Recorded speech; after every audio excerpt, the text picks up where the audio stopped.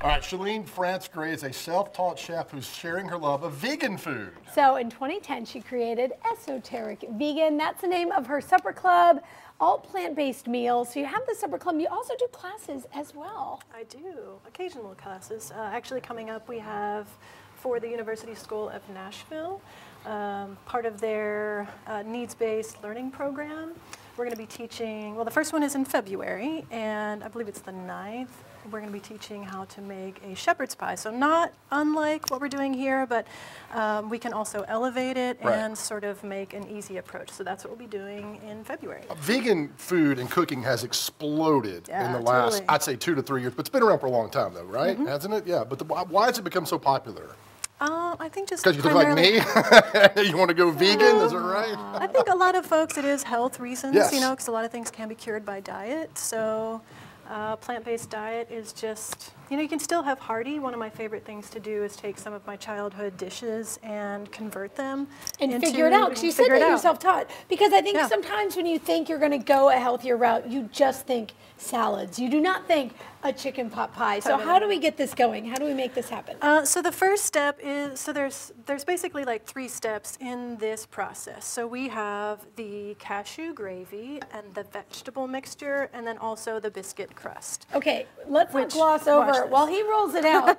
cashew gravy, like what Yeah. does that even mean? What's in there? Um, so- Obviously cashews, but The main thing to remember is to soak the cashews, and you would do that the night before or for at least four hours. I also have a little trick that if you forget or if you decide, oh, I want to make this for dinner tonight, I'd use boiling water and pour those over the cashews and let mm-hmm. them sit for like 15 to 20 to 30 minutes, and it kind of does the same trick. So it's Okay. it's pretty great. and But- we're gonna have the recipe on how to make this sauce on our website. Exactly. So that ultimately goes into a Vitamix, and you can set that aside. Work Okay. on your vegetable mixture. So uh, I cook the potatoes separately, and you want them to be able to kind of slice through but not be mushy. Perfect. Um, and then we've got carrot and chickpea, mushroom, and onion. You saute that first. When that's done, you ultimately add in frozen peas. You could use frozen corn, or I'm sorry, frozen corn or carrots as well. sure. Just add that all Whatever you in. want. I love it. Um, yeah, Can I- so can I- it's. Can I stop? Can you stop? Yes, okay. Absolutely. he's, his forearms are being Absolutely. tired from the, motion. It's hard work over there It with that is. rolling pin. So once you're done, you can add in the cashew gravy. And a little tip, cashews tend to get pretty thick, so if it does seem too thick to you and not, uh, see how it's kind of nice and thin there? Yeah, that's If perfect. That's beautiful. If it's too thick, you can use a little extra vegetable broth and, and thin it out. Okay. So your pastry dough. Yep, so from there, ultimately... There's no egg in there. There's no egg. No, this is just flour, baking powder, um, salt, coconut oil, and water.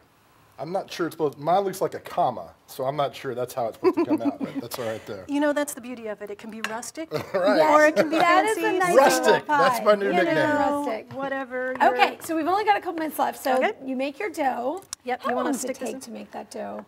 That took less than five minutes. Yeah. Less than five, Carol. Okay, so 25 for me. No, it's super easy. Oh, because you're not putting any dough at the bottom. no dough at the bottom. Pay attention, yeah. Carol. Beautiful. You can if you want to, but If you want extra crust. exactly. So you get it all in there. Joe, you wanna Sure. you wanna try to give it a whirl? Bring the dough over. Here, let me get Yeah, this that's- close. Let me get this closer to you. right. You just put it on top? You can do it. Yes. That- is- That's all, it's that easy? Okay. We'll move this out of here. All right. This is not going as I envisioned, but you need help? that's oh, pretty much the pattern for most of my life. You can also take the rolling pin and sort of fold it over that Okay. and kind of Will you help me out there, Shannon? Yes, sir. that? Okay. check this out. I'm going to keep watching you, Joe. Oh, So you kind of go there. Oh, look at you. Oh. It's a little trick. All right, the I reason she's in charge. I would have been we here till it. tomorrow's show doing that. that's okay.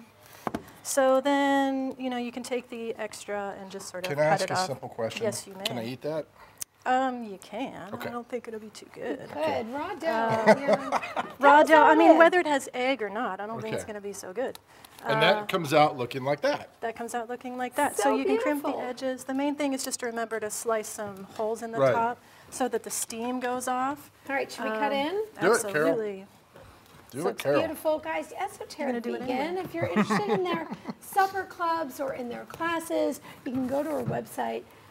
Esoteric vegan. Again, you made this look so this. easy and Oh, so it good. is so easy. So thank you. I'll just give it a lift up. Oh, wow, that's beautiful. Thank you. Now, there are lots of fun events coming up with Esoteric Vegan. Chef Shalene will hold a class on comfort food for vegans on February the 9th. That's from 6 to 9.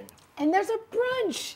Brunch for vegans. Yay. March 2nd, noon to 3. Thanks for the yay. I feel like that added a Why are you over here now? And because you don't have a need to fork or a spoon. Where's your fingers? or a plate or any We're- of those we're in the things. South? Stick it right in. Esotericvegan.com. Here you go, Joe. Thank Oh, you. let me fill this up for Okay. you.